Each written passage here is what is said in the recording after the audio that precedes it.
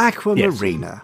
Yes. I mean, who doesn't like a bit of Marina? Well, obviously Troy Tempest. And uh, Chris Dale seems to get along with her as they voyage across Yeah. the Anderverse for the randomizer.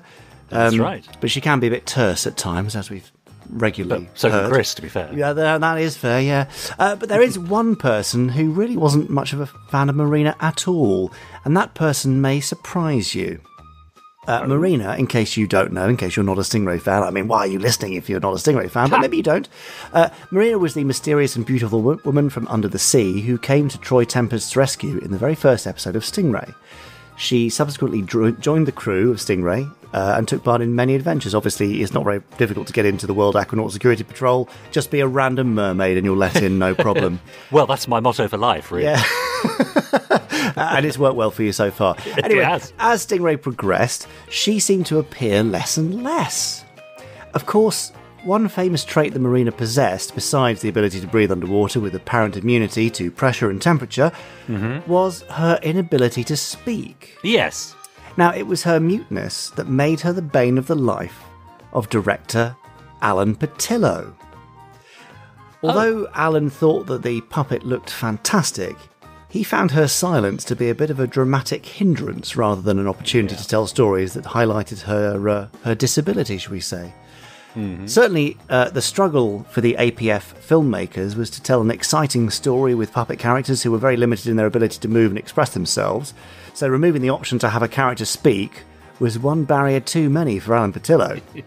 Yeah, I can imagine. Now, years later, uh, an interview which uh, you may see in the upcoming uh, network Blu ray, previously unseen footage, I say, uh, he maintained that the character was, in his words, unsuccessful. Ouch. So perhaps this is why Marina became less and less involved in episodes uh, from later on in the production order. Uh, maybe Alan had so much influence that he just said, I'll just get rid of her. But despite this, and despite Alan's protestations, Marina Yeah. still remains a very popular character. Yeah, yeah. Uh, according to some scripts in the Anderson Entertainment Stingray adaptations, uh, she has recently been played by Raquel Welch, would you believe? Say what? No, that's just that's Nick Briggs's little gag. He puts uh, guest Very stars good. Ah. playing Marina in the audio scripts because obviously Excellent. they're not really there. Uh, no, well, no, I mean, uh, of course they're they're there playing her silently. Uh, but uh. Posterons, what do you think about Marina's silence? Was it a successful part of the Stingray formula, or did it slow down the drama? We'd love to know your thoughts. Email us podcast at gerryanderson.com, or if you're watching the video on YouTube, comment below this very video with your thoughts. Um, that is interesting.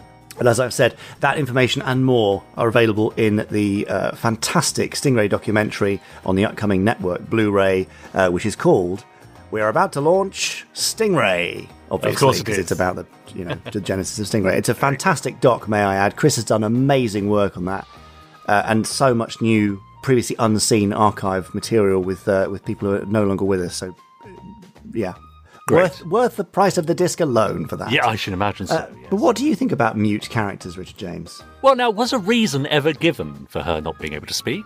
Uh, yes, she'd had her uh, ability to speak taken away, I believe, uh, possibly by Titan or some other uh, undersea Right. fiend. Was it, is it Yeah. an entire race possibly that had it taken away? Uh, I- right. I, can't remember whether where it was explained. Again, I'm showing myself up to be um, Yeah, now, Anderson but- Ignoramus once again. If we're and Andoremus. And did, uh, did we ever meet? Uh, did we ever meet others of her of her race? Met her father, yes, yes. Right, okay, right. And, uh, Uh, but and he was able to speak. Well, there was the, the audio version, uh, the audio story, the mini album, Marina Speaks, Yeah. where she spoke. Right, right, right. Hmm. Yeah, I mean, it's not it's not a great way, is it, to to forward the narrative having a, having a, a character that can't speak. I can imagine that you might start off that way, but how interesting and exciting an episode would it be when she regra- regained the power to speak? Absolutely. Or if it was sort of temporary and fleeting. and Yes, were- yes. Yeah, that would That's have been right. great. Why didn't they Yeah. do that? Yeah, yeah, exactly.